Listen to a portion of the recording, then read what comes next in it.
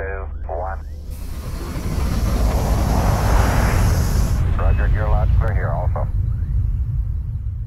Bonjour à toutes et à tous derrière vos écrans. Ça fait un peu bizarre quand même de, de se retrouver dans ces conditions, mais on vit une époque un peu particulière, un peu anxiogène, puisque quand on sort de chez soi, il faut avoir un masque. Jean-Marie Bigard va se présenter au présidentiel et Vianney sort un nouveau disque. On peut le dire, la France a peur. Heureusement, il y a euh, de bonnes nouvelles dans ce monde euh, en perdition, puisque Carburant existe. Carburant se lance aujourd'hui. Alors vous ne connaissez pas Carburant, mais euh, dans quelques instants, vous allez voir euh, et comprendre euh, les bienfaits de cette nouvelle entreprise qui se lance. Nous sommes ici dans le temple du cinéma, puisque nous sommes au Pâté Joliette, qui est, je peux le dire, le plus beau cinéma de France. Alors on va parler, on va pas parler cinéma, mais on va avoir quand même des acteurs qui vont défiler sur cette scène dans un instant, et nous allons tout de suite commencer par le plus important d'entre eux, avec son physique.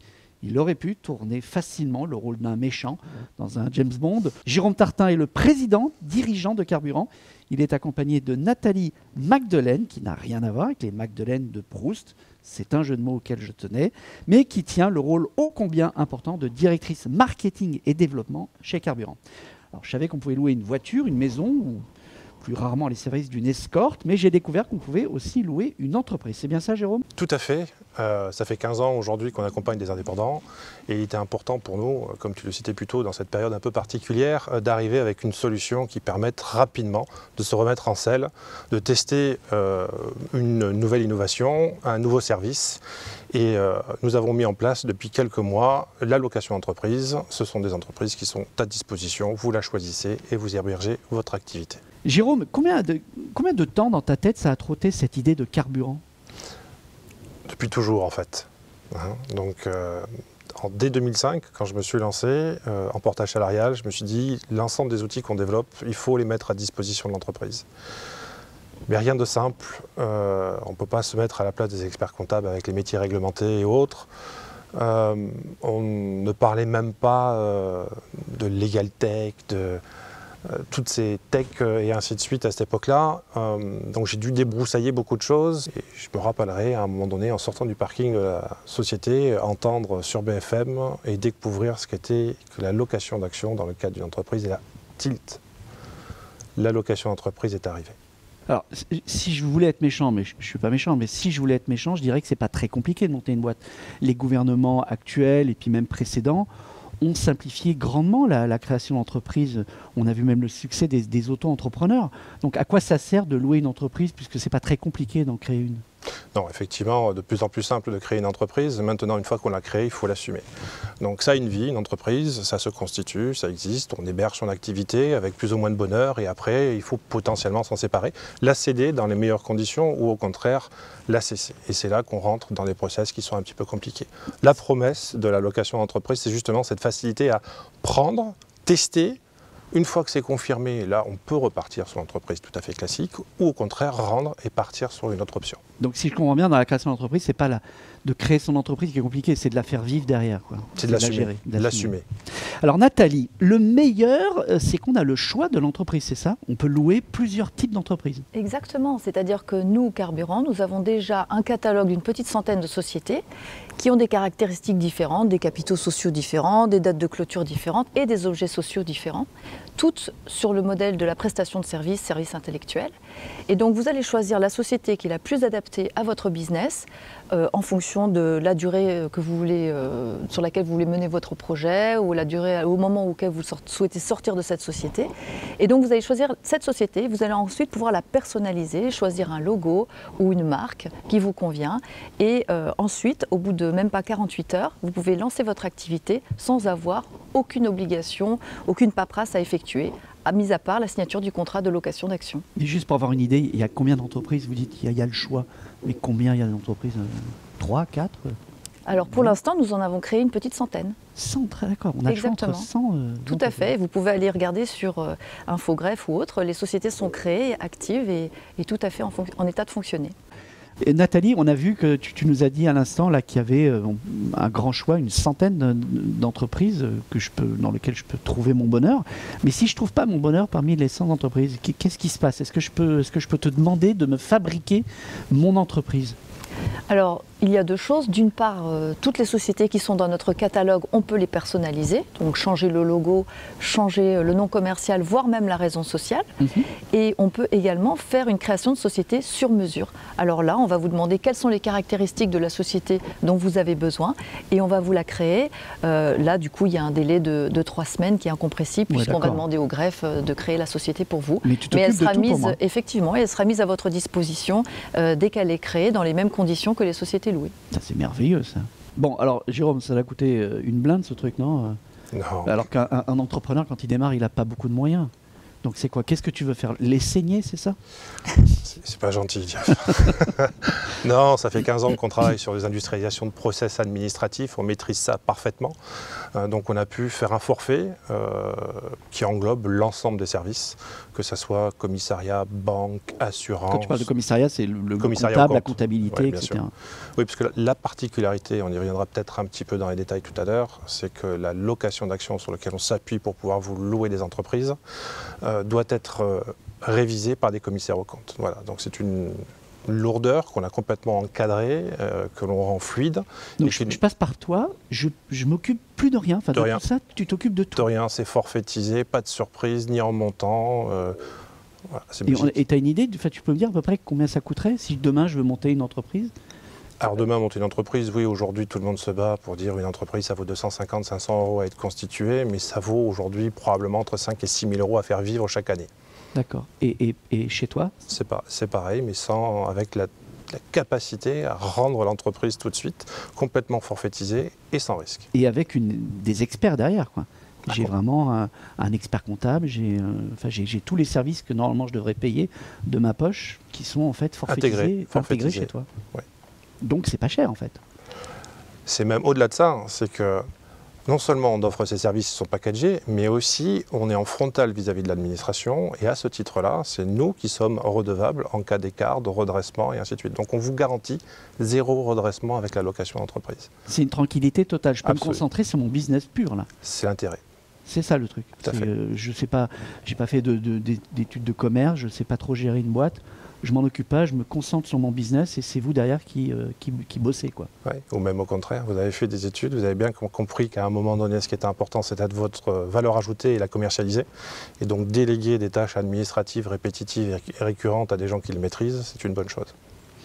Alors, euh, Nathalie, euh, comment ça marche ce truc? Est-ce que vous n'auriez pas un petit schéma magique pour nous expliquer euh, Alors, Comment on a ça- fait effectivement un petit schéma magique, mais une société louée, ça fonctionne comme une société normale. Euh, il n'y a pas de, de loi particulière. En fait, si vous souhaitez louer une entreprise, vous allez signer un contrat de location d'actions avec nous et vous allez bénéficier du coup du pack de services complet qu'on va mettre à votre disposition, comme le disait tout à l'heure Jérôme, avec euh, l'assurance RC Pro, le suivi comptable, le compte bancaire professionnel, euh, le commissariat au compte et également une application mobile qui vous permet d'effectuer les actes de gestion et les opérations du quotidien de cette euh, société. Donc une fois que vous avez signé ce contrat de location, vous êtes en fait euh, en mesure d'émettre des devis et des factures au nom de cette société pour vos clients. Vous avez une autonomie complète dans votre démarche commerciale pour trouver vos clients. Vos clients vont ensuite euh, payer le montant des prestations que vous avez effectuées sur le compte bancaire de la société. Donc nous allons effectuer le rapprochement bancaire, le suivi des opérations comptables, payer l'ensemble des taxes et des impôts qu'on doit payer à ce moment-là. Et vous pourrez ensuite sortir votre argent qui sera de l'argent complètement disponible euh, sous forme de dividendes ou de remboursement de frais. Donc c'est un schéma très simple qui vous euh, enlève l'ensemble des démarches de, paperasserie, de- des obligations réglementaires, du suivi comptable, etc. Et vous laisse en fait complètement maître de votre activité. Vous avez en fait sur votre application mobile l'ensemble des informations en temps réel qui vous permet de prendre les meilleures décisions sur votre activité. Et je dois rester combien de temps engagé Enfin, si je loue mon entreprise chez vous, il y a une durée minimum, il y a une durée maximale ou pas? C'est assez court. hein. On a tout fait aujourd'hui pour que cette durée soit réduite à trois mois. Donc, Donc, je peux- je- je- à partir de trois mois, je peux, pas, je peux venir louer une entreprise. bah, vous êtes engagé trois mois. C'est-à-dire qu'à un moment donné, vous démarrez, bah, vous prenez cette société pour trois mois, vous n'en voulez plus, vous nous la restituez, ou vous repartez pour un cycle de trois mois. Mais ça peut être super, simplement pour des entreprises très saisonnières. J'ai besoin de facturer, mais je ne suis pas structuré en société. Je peux louer mon entreprise pour la période euh, pendant 3 mois, 4 mois, et puis après la, la rendre, en fait, c'est ça C'est le principe, hein, avec des cas d'usage multiples. À chaque fois qu'on discute avec un entrepreneur dans l'âme, il est toujours en train de nous détecter un nouvel usage pour cette façon de consommer l'entreprise. Enfin, j'allais dire c'est génial, mais ouais, c'est génial. Comment ça se fait qu'il n'y ait, enfin, personne d'autre avant qui ait pensé à, à faire ça? Parce que Carburant, aujourd'hui, vous êtes le premier et le seul acteur à proposer ça. Tout à fait. Euh, la raison principale, c'est la notion de risque. Aujourd'hui, euh, on s'appuie sur un texte de loi qui existe depuis 2005, qui est la loi Dutreil, qui nous permet à un moment donné de démembrer les actions entre usufruit et nue propriété. Ouh là, un là, langage. Là, tu es en train de me perdre. Là. Il y a trois mots que j'ai pas compris. C'est du trait, usufruit. Alors, Dutreil, c'est un monsieur, c'est un son Ah, c'est le nom de la loi. Euh, usufruit, nue propriété, ce sont des mots qu'on a plus l'habitude de voir à un moment donné autour des SCI, le patrimoine immobilier et ainsi de suite. Euh, les parents euh, gardent l'usufruit, c'est de la nue propriété. À leur décès, les enfants récupèrent la totalité. Mm. C'est pareil, euh, on va garder la nue propriété et on va céder, louer l'usufruit, qui va permettre à la personne de récupérer les fruits de son activité par l'intermédiaire du dividende. D'accord. Garder la nue propriété, c'est garder le mandat social. Donc, c'est prendre les risques en lieu et place de l'entrepreneur vis-à-vis notamment des administrations. Donc, pas de risque, certes, mais pas euh, toujours des obligations de l'entrepreneur, celle euh, de créer la valeur ajoutée et de la commercialiser, c'est-à-dire que la relation avec son client, c'est lui qui l'assume. D'accord. Nous, on s'occupe du ouais. reste. Mais il n'y a, pas un risque aussi bon, je- crée une entreprise chez toi. Qui me dit que tu vas pas partir avec la caisse au Venezuela? Aujourd'hui, ça fait 15 Ou ans. ailleurs. hein. Quoi qu'en ce moment, il ne fait pas bon voyager, donc il n'y a pas trop de risques. Euh, non, ça fait 15 ans qu'on fait ce métier-là, hein, euh, principalement autour du portage salarial. Euh, on est connu, reconnu, identifié. Euh, Aujourd'hui, il n'y a pas de problème majeur. Et euh, mieux encore, c'est que ces textes de loi euh, nous rendent complètement transparents euh, vis-à-vis de l'administration et de nos obligations. Donc tout le monde reconnaît que cet argent appartient bien à un moment donné au locataire. Et je, crois même que avant de lancer Carburant, euh, tu t'es quand même bien bien blindé vis-à-vis de Bercy, euh, que vous, vous avez travaillé avec le ministère de- des Finances, enfin que enfin, vous avez Alors, fait un boulot Travailler, travailler c'est un bien grand mot. Oui, on a travaillé euh, de manière très proche avec les gens d'ailleurs qui feront partie du tour de table que l'on fera tout à l'heure. Euh, donc avocats, FIDAL, euh, commissaire aux comptes, KPMG. On Oui. est allé présenter notre travail effectivement à Bercy. J'ai arpenté le trésor, la répression des fraudes, les impôts et ainsi de suite pour bien montrer que l'usage d'une loi qui existe depuis 15 ans à destination du grand public était un, un intérêt dans l'intérêt général pour faciliter l'entrepreneuriat et la réussite.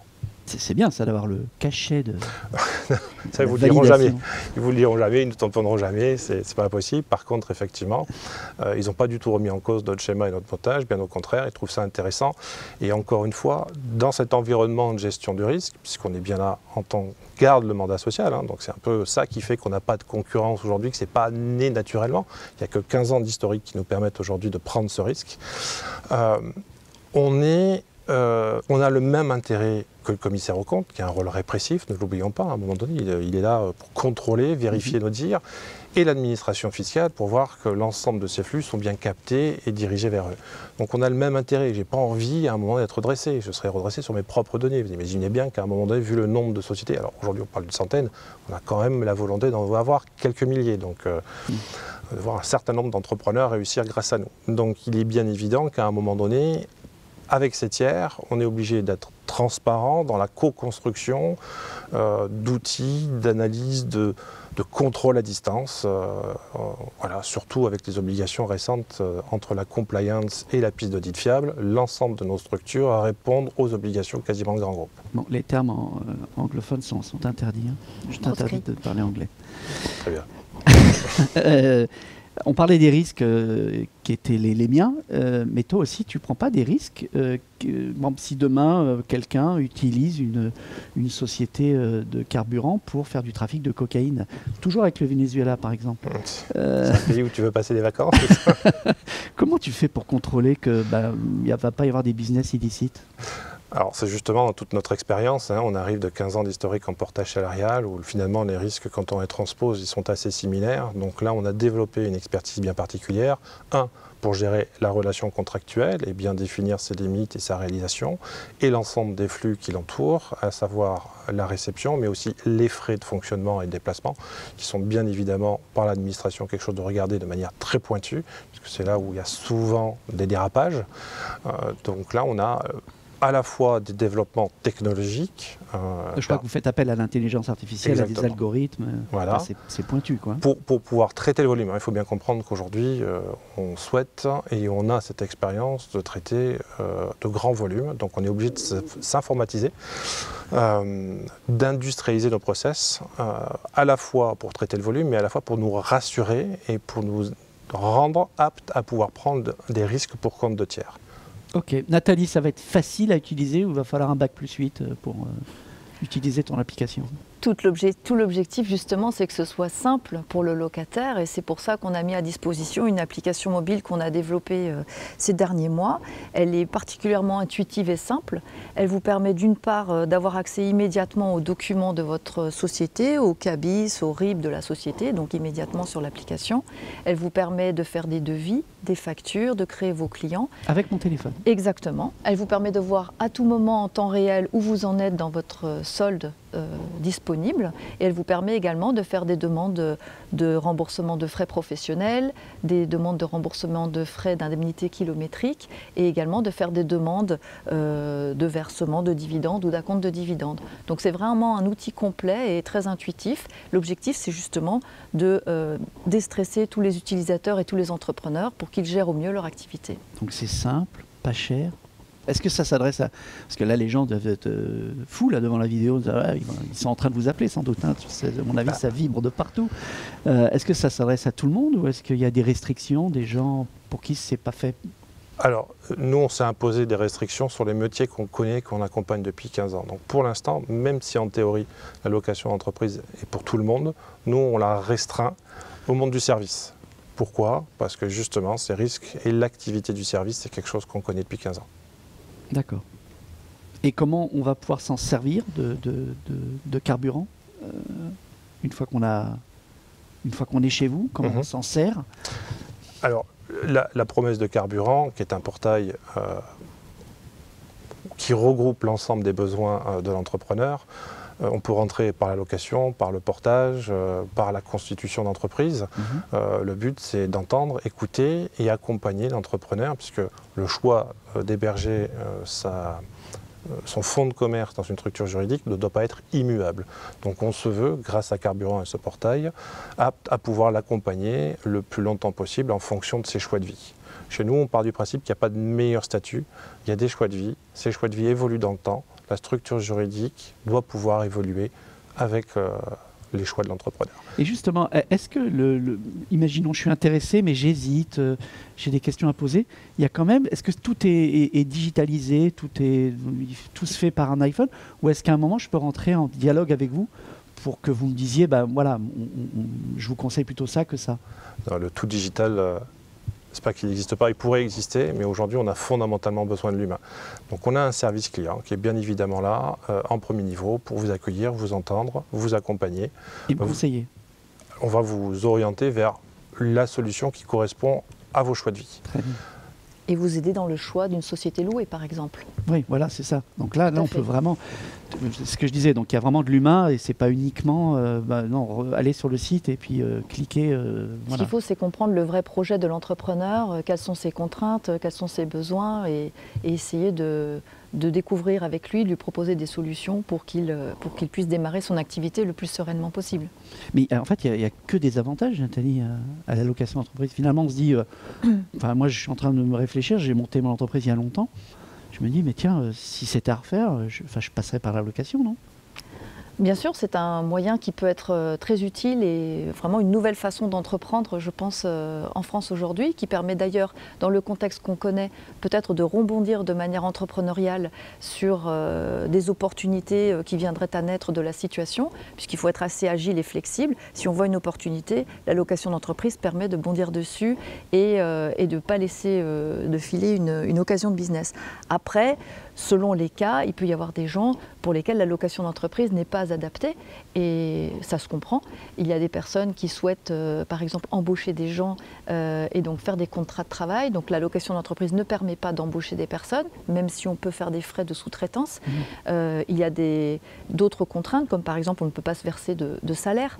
Donc ce genre de choses doit faire partie vraiment du, du projet de l'entrepreneur et on doit l'examiner avec lui. Mais pour tout le reste. Mais pour tout le reste, effectivement, il n'y a pas de, de contraintes particulières sur la location d'entreprise. C'est très flexible et je vous engage à essayer. Saisissez l'opportunité. Testez, avancez. euh, Ça ne va, vous pas vous- ça va pas vous coûter grand-chose. Par contre, euh, à tout moment, vous pouvez la rendre en disant non mais j'ai essayé, c'est pas pour moi, Mhm. je passe à autre chose. Non, non, c'est... On a un témoignage euh, non, d'un- utilisateur, d'un locataire qu'on va regarder en vidéo Tout à maintenant. fait, On regarde ça? Avec Alors. plaisir.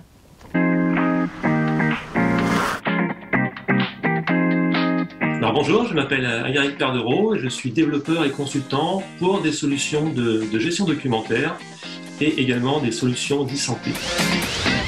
La location me permet de fonctionner par projet. Pour la majorité de mes projets, le portage reste la solution la, la plus pertinente, mais pour des projets spécifiques, la location a un réel avantage. Et le fait de choisir la location me permet d'avoir la flexibilité nécessaire pour fonctionner par projet. Déjà la simplicité, hein, c'est quelque chose qui, a qui est très rapide à, mettre en place, avec peu de démarches administratives. hein. Il m'a fallu moins d'un mois et quelques échanges de mails et un contrat à signer pour euh, avoir la solution en place. La flexibilité, je ne l'utilise que pour un projet. Et la complémentarité, cela ne m'empêche pas de bénéficier des avantages du partage salarial en parallèle. J'ai beaucoup de proches qui, voilà, qui sont, euh, y compris ma femme, qui, sont, qui ont leur propre société. Voilà, je sais ce que c'est, je vois au quotidien ce que ça veut dire. Je préfère passer mon temps sur mes projets plutôt que de faire l'administration.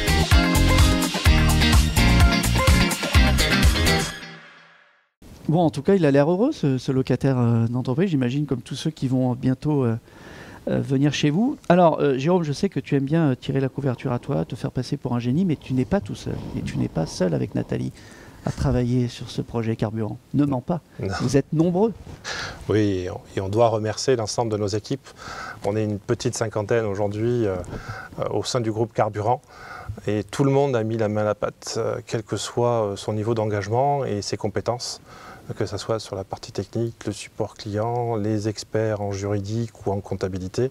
C'est vraiment un projet fédérateur euh, qui nous a donné du baume au cœur. Tout le monde était derrière ce, ce projet qui a fondamentalement accéléré avec euh, la crise que l'on connaît aujourd'hui et du Mm. Covid, euh, parce que c'est aussi l'espoir euh, de voir en sortie de crise, d'offrir la possibilité à des gens de s'exprimer, rebondir, on utilise souvent ce mot-là, mais c'est ça, et, et donc d'avoir une chance de réussir et de passer à autre chose. Et aujourd'hui, 5 novembre, on peut dire que vous libérez l'entrepreneuriat? C'est ça, c'est aujourd'hui, c'est bon. Il y a une date à, à forger et à se rappeler. Ben, merci en tout cas à vous deux euh, de nous avoir expliqué ce qu'était carburant. Euh, si j'osais euh, un jeu de mots, je dirais que carburant est l'essence de l'entrepreneuriat. tu as compris, Jérôme L'essence, carburant. C'était très clair. Et c'est un imbécile qui vous parle. Merci.